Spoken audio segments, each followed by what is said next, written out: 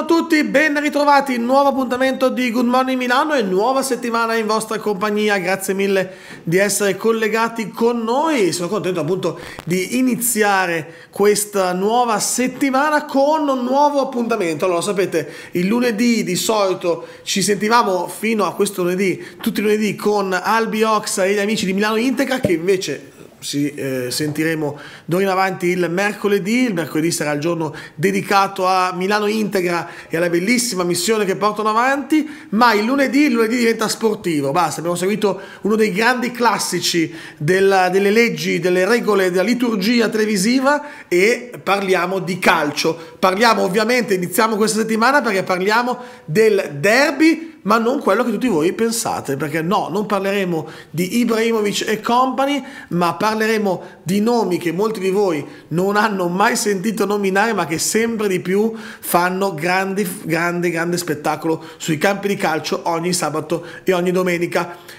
Vi dico solo una cosa, ci colleghiamo in questo momento con il cofondatore di Cartellino Rosa e già qualcosa forse vi può, far, vi può far capire. E allora buongiorno a Mattia Del Giudice, buongiorno e benvenuto su Milano All News.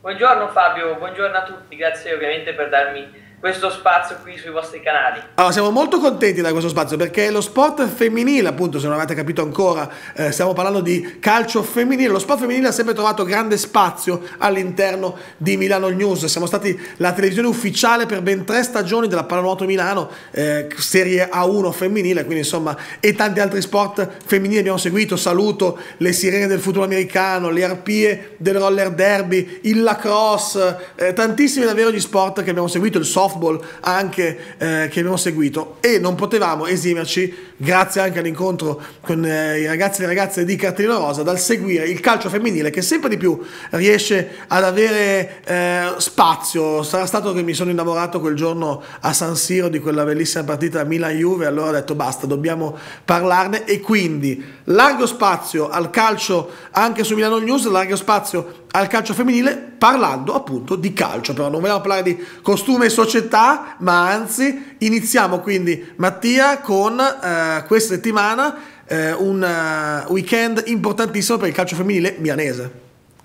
Assolutamente sì, perché eh, questa domenica, in giornata di ieri, a mezzogiorno e mezzo è iniziato anche il derby femminile tra Milano e Inter, una partita davvero piacevole da seguire, molto vivace perché sono state occasioni da una parte e dall'altra poi il risultato è stato molto largo alla fine per le rossonere che hanno vinto per 4 reti a 1. Alla fine in 55 minuti la partita è stata risolta e portata a casa dalla squadra di Maurizio Gans. Tanto vediamo Anche i risultati se... mentre parli, così vediamo tutti i risultati di tutta la giornata.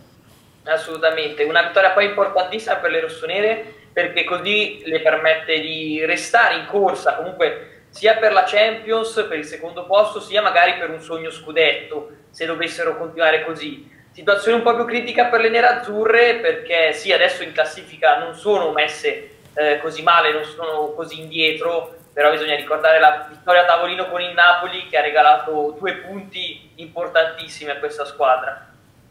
Chi sono le cannoniere del weekend? Chi è che ha fatto faville sui campi questo weekend?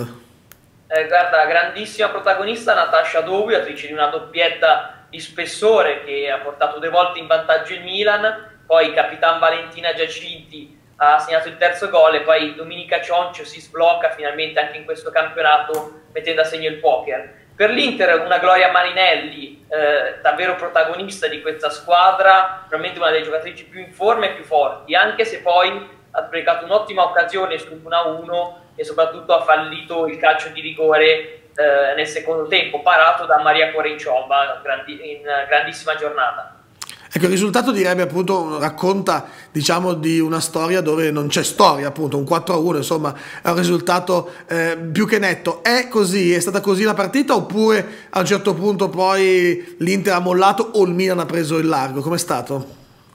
Eh, un po' una via di mezzo in realtà, perché appunto, come hai già detto, sull'1-1 Marinelli si mangia un gol davanti al portiere. Se l'Inter magari fosse tornato in vantaggio le cose sarebbero andate diverse poi il Milan è oggettivamente in questo momento superiore all'Inter eh, femminile a livello di rosa, a livello eh, di stimoli e di ambizioni.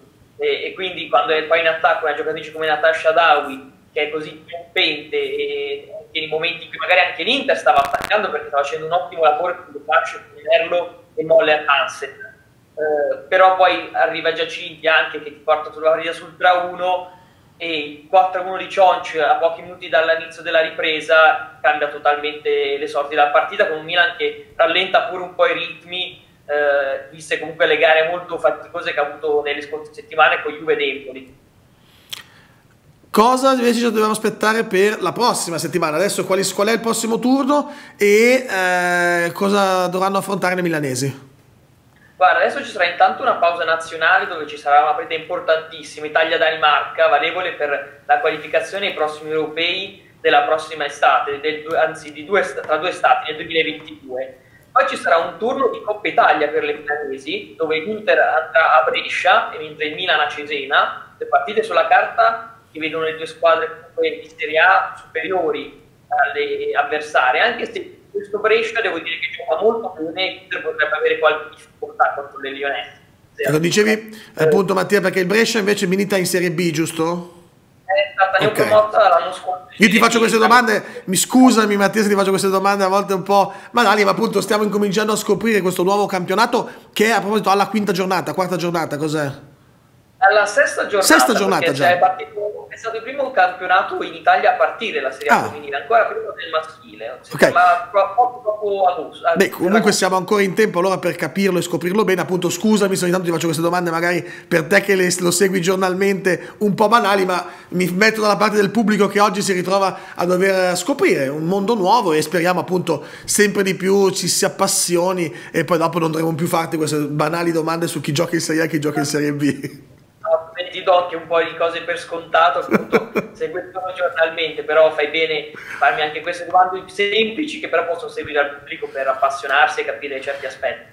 Quindi dicevi pausa nazionale, poi turno di Coppa Italia e poi si ritorna quindi fra tre settimane, credo, no? giusto con il campionato? Proprio così, il, il weekend tra il 7 e l'8 novembre inizia, arriva la settima giornata dove l'Inter uh, ospiterà il Big Bari, quindi sulla carta una partita un po' più semplice per le nerazzurre, anche se l'anno scorso, uh, mi ricordo, ero lì presente tra l'altro allo stadio, ultima partita prima del lockdown, prima della sospensione del campionato, finì 2-2 quella partita ah. con l'Inter molto sprecone in difficoltà. Uh, mentre il Milan andrà a Napoli, andrà a sfidare il Napoli femminile che ricordo magari appunto per chi non segue questo mondo non è il Napoli di De Laurentiis, è una società a parte che in questo momento si trova a zero punti in fondo alla classifica, quindi eh, sembra scontato il risultato, ma non lo è perché in realtà il Napoli sta facendo davvero un bel gioco, mancano solo i gol e i punti. Adesso io ti fanno per le milanesi, speriamo che non arrivino proprio durante le milanesi questo, questi gol e i punti. Eh? Cioè, io faccio, ovviamente eh. posso, come direttore di Milano News, posso tifare per entrambe le milanesi, quindi eh, non c'è problema. Diciamo prima che appunto il nostro pubblico speriamo si appassioni al racconto di questo campionato e poi lo possa seguire. Se noi ne parleremo solo lunedì, invece eh, Mattia tu ne parli tutti i giorni dalle colonne di Cartellino Rosa, giusto? Proprio così, sì, siamo su Instagram, su Facebook, adesso abbiamo anche in mente qualche progetto per espanderci un po' su altre piattaforme, però principalmente siamo lì, scriviamo sul nostro blog post partita, pagelle e anche analisi tattiche e tecniche comunque delle, delle, varie squadre di Serie A e cerchiamo anche di fare un punto sulle categorie minori, sulla Serie B dove abbiamo già detto c'è il Brescia o magari anche la Serie C che comunque sono quattro gironi molto avvincenti. Bene, allora Mattia, io ti ringrazio tantissimo per aver inaugurato quest'oggi questa nostra striscia sportiva inizia il nostro campionato insieme, andremo avanti tutto il campionato a seguire le ragazze di Milano e Inter e poi comunque tutte le squadre della Serie A eh, femminile. E come dicevi tu poi ovviamente non possiamo non dare un occhio anche alle serie minori perché insomma ci sono anche lì squadre lombarde da tenere sott'occhio. Assolutamente, grazie ancora appunto per questo appuntamento perché è davvero bellissimo. Più se ne parla meglio è perché si va un passo sempre in avanti verso il professionismo e verso un futuro radiante per questo mondo. Perfetto, allora poi vedremo anche man mano, so che poi voi fate anche delle cose molto interessanti, fate la giocatrice della settimana, riuscite, eh, avete anche delle belle collaborazioni in atto per espandere sempre di più anche il pubblico, ne parleremo allora nei prossimi nostri collegamenti. Eh, ci vediamo quindi lunedì prossimo dove parleremo di nazionale a questo punto, giusto? A questo punto sì, perché il giorno dopo ci sarà il grande match tra Italia e Danimarca. Si potrà, sai, sai già se si potrà vedere da qualche parte la partita? Sarà su Rai 2, se non sbaglio, alle ah. 7 7 e mezzo, detto ah, dai. Eh, dove, Beh, dai, insomma, è su P2. Che si comincia anche a vedere allora sulle tv è qualcosa davvero di sim- simbolico e importante, quindi vuol dire che qualcosa si sta muovendo e noi siamo lì a testimoniarlo. Grazie mille davvero Mattia, è stato un piacere, ci vediamo lunedì prossimo. Grazie a voi, a lunedì prossimo. Grazie mille a Mattia Del Giudice, cofondatore di Cartellino Rosa. Questo sarà un appuntamento del lunedì. Eh, la prima parte di puntata sarà dedicata appunto al calcio femminile alle due squadre milanesi, Milan-Inter. Eh, derby finito eh, diciamo nella, con lo stesso eh, scenario della parte maschile, vittoria del Milan in entrambi i derby, quello femminile 4-1, come ci diceva eh, Mattia, insomma un 4-1 eh, pieno di spettacolo. Eh, continuiamo a parlare però di donne lo facciamo con tre grandissime donne che sono sempre nostre ospiti e non vogliamo perderle, anzi scriveteci eh, perché se volete eh, contattarle noi siamo qua per farvele conoscere, sono le tre foche parlanti, le nostre amatissime poetesse che anche quest'oggi arrivano con la loro incursione poetica. Quest'oggi è lunedì e lunedì è il giorno di Alice Bertolasi che proprio adesso ci fa la sua eh, esposizione, ci porta nel suo favoloso mondo pieno di parole e immagini. Come ultima cosa vorrei chiederti di rimanere. Non sai mai se domani se domani sei il verde, ingialliscano i rami, o si arresti il respiro alla voce, sfinito l'inchiostro, potresti trovarti, muto, al riverbero del vuoto e non riconoscerlo più. Da qualche parte ti diranno di ricominciare. Allora il guscio a mezzo dei tuoi pugni appesi alle serrature sarai in grado di amare, disegnando paure trasformate, aria, scoperchiate alla terra.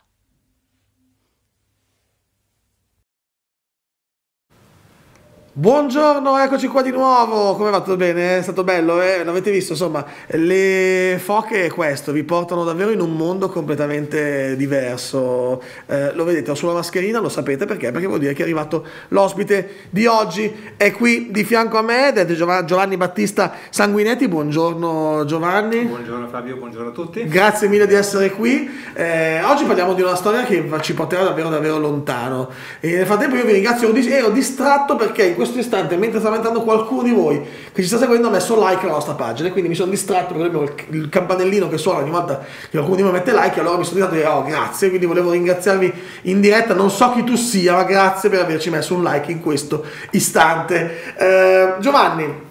Dicevo, una storia che ci porta davvero lontano, sia nel tempo che nello spazio, per dire, perché è una storia che personalmente ti prende tantissimi anni fa e poi ti ha preso e portato a 7-8 mila km da qua più o meno. Oh, sono 5 mila km. 5 mila km da qua, infatti. eh, raccontaci bene allora eh, di cosa stiamo parlando. Stiamo parlando appunto di un viaggio che poi è diventato il viaggio a tua vita. Sì. Eh, sì, è un viaggio che è cominciato per me eh, nel 97 più o meno eh, e che, arrivo subito alla conclusione così sappiamo di cosa stiamo parlando, eh, mi ha portato in India dove adesso da un paio d'anni vivo più o meno stabilmente. Cosa è successo in mezzo fra 97 e 2020? Eh, io ho sempre lavorato in, in banca in Italia eh, fino al 2018 e eh, devo dire che mh, credo di essere anche uno dei pochi bancari che è sempre stato soddisfatto di lavorare in banca. Il lavoro in banca mi piaceva. Oh, eh, sì, una volta non è quello basta, non ne posso più, sia... tutto me ne vado. No, no, no infatti non, non, eh, la scelta che, che tra poco racconterò non è stata dovuta a quello. E, ehm, però dal, dal 97 eh, mi era venuta la voglia di fare qualche cosa di volontariato, di fare qualcosa per persone che avessero meno possibilità di noi, meno fortunate di, di noi o di me. Insomma, ecco. E, mm, quindi nel 97-98 avevo, avevo cercato di fare qualche, qualche cosa qui in Italia, eh, però per impegni lavorativi o di altro tipo, anche familiari, eh, non avevo mai possibilità di trovare un, un tempo costante durante, settimana, durante le settimane per, per, fare qualcosa. Per cui mi è venuta la grande idea, visto che a me piace viaggiare e nel 93 ho cominciato ad andare in India più o meno regolarmente perché mi sono innamorato dell'India, ho detto ok, perché non faccio qualcosa quando vado là in vacanza, eh, quindi alternando un periodo di vacanza e un periodo di aiuto, assistenza ho cominciato eh, da prima singolarmente, quindi non legandomi a qualche associazione, perché volevo capire se ero in grado di fare mhm. qualcosa in un paese totalmente diverso dal mio. Anzi, prima, prima fuori onda poi dicevi, avevo paura di non essere in grado, mi, Infatti, mi hai detto... Eh...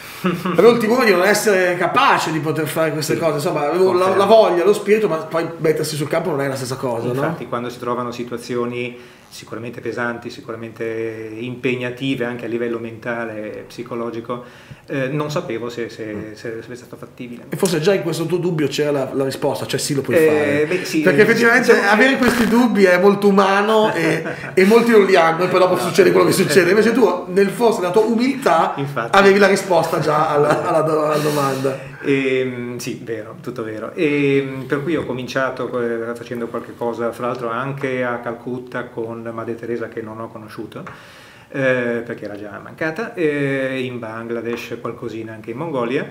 Eh, ho visto che mh, ero in grado di mh, reggere anche situazioni parecchio spigolose, complicate. Ecco. Eh, per cui passano gli anni e pian piano maturo la convinzione di voler fare qualcosa per conto mio, quindi senza regalare, diciamo, regalare il, il mio tempo ad altre associazioni. Eh, arriviamo in questa situazione al 2004 più o meno, eh, quando già da un paio d'anni sostenevo un orfanatrofio nella zona sud-est del, dell'India, nella costa sud-est mm-hmm. dell'India, in Tamil Nadu. Eh, 2004 lo tsunami, eh, quindi enormi danni anche in India, anche in quella parte dell'India. Eh, succedono varie cose, fra cui il fatto che tanti soldi arrivano da tutto il mondo in India okay. per eh, gli aiuti, eccetera tante persone in India eh, impazziscono, nel senso che non, non, gli pare vero di ricevere e non sempre, tanti, non sempre soldi. tanti soldi portano ecco, esatto, la tranquillità infatti. o la felicità, anzi. Per cui l'aiuto che stavo facendo, eh, ho cominciato a capire che c'era qualcosa che non funzionava, faccio un salto avanti, ho, ho, quindi ho lasciato stare quella cosa, ho... Ehm, eh, rimborsato gli amici che nell'ultimo anno mi avevano dato dei, dei soldi da dare okay. a, a quell'orfanatrofio perché mi sembrava corretto non... Mm, mi sembrava corretto sì, essere sì, corretto, sì, chiedo scusa il gioco di parole. Nel 2006 eh, conosco un altro italiano, Fulvio Configlietti, che aveva appena fondato, proprio due o tre mesi prima, eh, l'associazione Malar Trust Onlus, sì. a cui mi sono unito a inizio 2007, quindi 3-4 mesi dopo la fondazione, e dal 2007 ad adesso andiamo avanti con la nostra gemella Malar Trust India, India. che fa materialmente le attività e dal 2018 eh, ho deciso... Hai lasciato, hai lasciato la banca? Sì, sì, sì. Eh, senza scappare via, senza perché sono sempre stato della convinzione che se uno scappa via problemi, per, per, dei problemi, i problemi lo seguono. si vengono dietro con uno zainetto, quindi... Non è una bella cosa.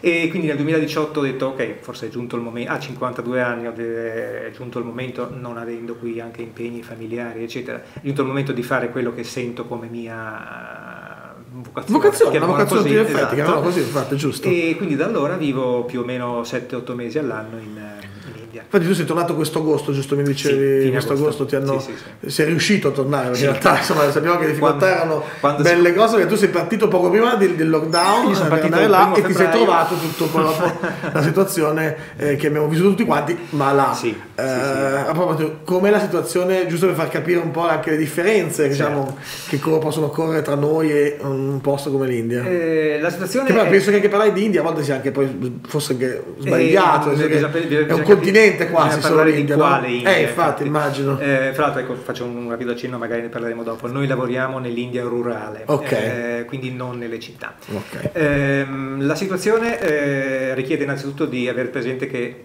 quando si parla di India si parla di un miliardo e 400 milioni di persone. Eh, quindi quando io adesso vi dirò che... Ricordiamo, eh, noi siamo sui 60 milioni in Italia, sì, giusto per capire, non arriviamo neanche a 60 100, milioni. cioè, proprio per Sì, capire le proporzioni. quando eh, adesso vi dico che i contagi nel- fino a due settimane fa erano i nuovi contagi erano di 100.000 al giorno più o meno eh, ovviamente da noi questa cifra fa rizzare i capelli là anche ma eh, rapportato a un miliardo e mezzo di, un miliardo e quattro di persone eh, le cifre sono meno, Sì, sì, sì, meno pesanti ecco. Ehm, la situazione in questo momento sta leggermente migliorando, eh, i contagi adesso sono solo, passatemi il termine, eh, 63-65 mila al giorno, nuovi contagi. Metà. Fortunatamente con un dato di mortalità sui contagi da numeri ufficiali, da statistiche ufficiali dell'1,5%, quindi fortunatamente mh, basso, ecco, insomma. E mh, la grossa differenza rispetto a noi, oltre appunto all'importanza delle, delle cifre, è la mentalità, Eh, nel senso che eh, noi, mh, dico noi perché anche io ovviamente sono italiano, quindi mi, mi Sì. considero qui, ehm, siamo giustissimamente ehm, preoccupati, eh, molto preoccupati di quello che è successo, di quello che Succedendo, speriamo quello che succederà. eh, vedremo come va a finire. Eh, in India il ragionamento è, eh, anche per la loro mentalità, anche dovuta alla loro religione, ma non solo, in India il concetto è totalmente diverso. Ci siamo noi, noi viviamo, c'è il virus, conviviamo col virus. Eh, quindi mh, a parte i primi due mesi di lockdown che là è cominciato il 23, il 25 marzo, eh, la, mh, e in cui sono stati chiusi i negozi e tutto quanto, portando alla fame immediatamente tantissime persone, eh, perché là mh, tantissimi lavorano a giornata, Ti immagini, alla Francesco? sera se non so che esiste la famosa economia eh, giornaliera, se non l'economia del centesimo, se parlare Esatto, anche esatto, appunto. esatto. Dove Eh, il centesimo è proprio quella moneta che fa la differenza tra il vivere Sì, e morire. Sì, sì, sì, proprio nel vero senso della parola. Eh, dopo i primi due mesi in cui il governo giustamente ha imposto un lockdown eh, Italian style, più o meno, eh, con molte differenze, ma comunque abbastanza duro, e la gente moriva di fame, eh, quando poi i contagi hanno cominciato veramente a impennarsi, parliamo di fine aprile, eh, il governo ha detto da domani saremo ancora più stretti, ancora più duri, tutti quanti hanno detto no scusa, dopo due mesi che ci puoi fare la fame ci dici che da domani le cose si fanno ancora più difficili. Mm. E quindi tutta la gente, l'uomo comune, ha, cominciato, ha ricominciato a fare A la sua ignorare completamente tutto quanto. Le alternative erano eh, lavoro, mangio e magari prendo il corona, eh, ok, mh, va bene, eh, se non lavoro non mangio e finisco Quindi è la mia vita subito. E quindi la scelta indiana è Questo per farvi capire un po' il contesto in cui appunto opera eh, Giovanni e Malatrast Onlus, ma appunto non solo di Covid, eh, vi occupate, anzi non vi occupate di quello, vi occupate di tutt'altro con dei progetti che vanno avanti da tanto tempo. Abbiamo visto sempre qualche immagine prima passare, ho visto sempre in una scuola, ho visto che fate degli interventi così. Ecco, che tipo di interventi fate? Quali sono gli interventi che fate in India? Sì. Elimino subito il discorso Covid dicendo che eh, in realtà nel- dal punto di vista sanitario noi non siamo stati interessati anche perché non siamo un'associazione medica, non abbiamo le competenze.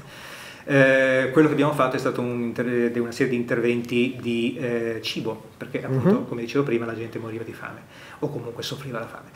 Quello che fa Malar all'inizio, quindi parliamo di 2007 anni a seguire, eh, eravamo focalizzati quasi esclusivamente sull'educazione, perché siamo mh, fermamente convinti che il progresso, lo sviluppo, la consapevolezza di, di- di- di tutti, sia in Italia che in India o comunque nel mondo, passa attraverso l'istruzione. Eh, dopo qualche anno, e e quindi dopo scuola, e quindi asili, ehm, borse di studio, aiuti individuali sempre in, in questo ambito. Eh, dopo qualche anno ci siamo detti, ok, ma fare studiare la gente, favorire lo studio di, di tanti ragazzi, e in particolare ragazze, lasciandoli in un ambiente familiare, in- più che familiare, in un ambiente eh, di villaggio mh, estremamente arretrato, non serve a nulla. Servirà a salvare eh, magari una persona, ma non a far progredire una comunità. famiglia. Calcolando in particolare che noi lavoriamo con le comunità tribali, che sono Ok. quelle più arretrate. Ehm, per cui abbiamo, abbiamo cominciato con una serie di aiuti ai villaggi, dal punto di vista infrastrutturale, quindi elettricità, case, eccetera. Eh, sia anche dal punto di vista di spicciola assistenza sanitaria, ma mm, come dicevo prima, noi non siamo medici, però sì, sì, sì, dare migliore Basta. cibo, dare acqua pulita, quindi pozzi, eccetera, eccetera, sono cose che possiamo Rendere più dignitosa la vita, diciamo sempre. E da un anno e mezzo, e quindi da lì poi si sono, sono, sviluppati tantissimi tipi di aiuto, da un anno e mezzo diciamo lanciati anche nel, nel settore disabili, eh, per il quale in India c'è sicuramente attenzione da parte del governo, ma mh, l'attenzione poi molto spesso non si traduce in, in eh, possibilità pratiche. Esatto, infatti. E quindi ecco, cerchiamo di fare veramente il più possibile, quello che ci diciamo sempre è tutto quello che si può fare lo facciamo, quello che non possiamo fare non lo facciamo. Ecco, non, come possiamo fare invece noi ad aiutarvi? Cosa possiamo fare da qua? Non possiamo prendere, adesso è impossibile, ma comunque non cioè, possiamo tutti quanti prendere un aereo e venire eh, no, eh, là anche perché non ci sarebbe bisogno, ma anche perché poi non ci sarebbe bisogno, se no. immagino che le comunità siano in grado poi di autogestirsi e di fare molto da sole e basta posso dire, dare l'accensione Beh, sì. a volte, no? Ecco, come possiamo fare ad aiutarvi a dare l'accensione? Eh, sostanzialmente in due, in due modi eh, e ringrazio adesso chi, chi vorrà seguire questi, questi suggerimenti. Eh, innanzitutto eh, tenendosi in contatto con noi eh, tramite il nostro sito malartrust.org eh, e soprattutto tramite la pagina Facebook Malar Trust Onlus eh, in cui ci sono più o meno settimanalmente le novità di quello che facciamo, i risultati positivi o anche negativi, perché è giusto che i donatori sappiano anche le volte che non ce l'abbiamo fatta, mi sembra un modo corretto di parlare. Giusto, ma credo che poi faccia capire anche proprio Infatti, che si cerca eh, di fare. Esatto, ecco, esatto. È... E mh, diffondere l'interesse, la conoscenza anche fra amici, parenti eh, e persone che appunto possano essere coinvolte. Ehm, l'altro modo è tramite eh, donazioni. Uh-huh. Eh, mentre non considero eh, la, la, la, cosa di mandare aiuti in India, facendoli partire da qua, okay. perché eh, i costi del trasporto sono veramente esagerati, eh, a parte poi le difficoltà doganali là in India, ma eh, in India per fortuna tante cose, tante cose di uso correnti, i quaderni, le penne, gli abiti si trovano a okay. costo veramente limitato, quindi è più utile per noi ricevere un euro qui piuttosto che una spedizione di 1000 euro che poi il donatore ne deve pagare 200 per spedire, non, non, ha senso. Non ha senso, non, ha senso. Eh, non ci servono almeno al momento eh, cose invece più sofisticate, più particolari come attrezzature mediche o simili, che avrebbe senso spedire da qua, ma al, al momento non abbiamo in programma appunto di fare cose mediche. Per cui ecco, le, le modalità possono essere interesse e sensibilizzazione eh, e magari anche fare una chiacchierata. Come, ecco appunto, come possiamo fare però a seguire quello che fate, sì. come possiamo trovare tutte le informazioni che ci servono sia per aiutarvi che per appassionarci esatto. a quello che fate e poi magari appunto parlarne anche con gli amici, certo. creare magari una, un momento quando si potrà trovare un momento sì, insieme sì, per parlare. E, le, i, i, due strumenti, oltre ai miei contatti personali che eh, volendo possono essere richiesti se, senza problemi, problema. Eh, I due strumenti sono appunto la, la, il sito internet che però ammetto che non è aggiornatissimo anche perché siamo in continua evoluzione. E, e, sia io che eh, Fulvio il fondatore siamo abbastanza incapaci dal punto di vista. Quindi ogni tanto ma ci, ci, tu se facciamo l'appello trovare qualcuno che magari vi dà una mano col sì. sito internet cosa potrebbe essere? Anche quello sarebbe un, un, un grosso aiuto qualche baldo giovane qualche balda giovane studentessa dell'università che magari fa comunicazione che potrà dargli una mano tanto e, poi comunque invece, soprattutto tramite la pagina Facebook eh, Malar Trust Onlus, eh, in cui prevalentemente scrivo io, troverete il nome Joe Malar che sono io, eh, in cui raccontiamo non solo quello che facciamo ma anche perché lo facciamo, quindi mm. qual è la mentalità locale, ehm, quali sono le difficoltà che noi stessi e anche i nostri amici indiani di Malar Trust India incontrano per parlare con i tribali.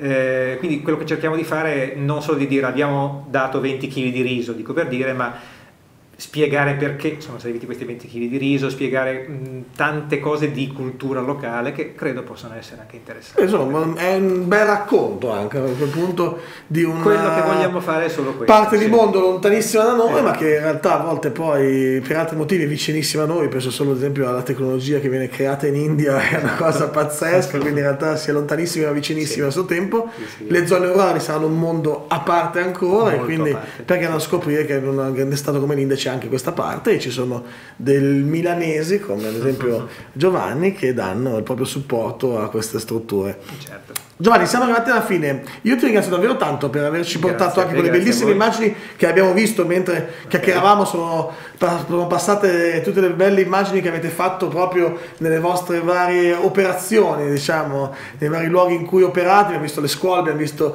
il cibo che avete portato anche adesso, appunto, durante la crisi Covid. Quindi complimenti davvero, complimenti alla squadra, e Grazie. complimenti alla squadra anche indiana. Portaci quando potrai andare. Senza di loro che- perché so che, eh, so che stai Porterò scalpitando per tornare là, perché Sì. insomma, so che non vedi l'ora. Eh, porta i nostri saluti, i nostri ringraziamenti. Riferisco sicuramente, saranno molto grati. Davvero, grazie mille, contenti. grazie mille a Giovanni Battista Sanguinetti di eh, Malar Trust Onlus. Eh, seguite, mettiamo i contatti comunque nella diretta, scriveteci, Beatrice ha tutti i contatti che possono poi servirvi per mettersi mettervi in contatto con Giovanni e la Malar Trust Onlus. Grazie mille davvero Giovanni.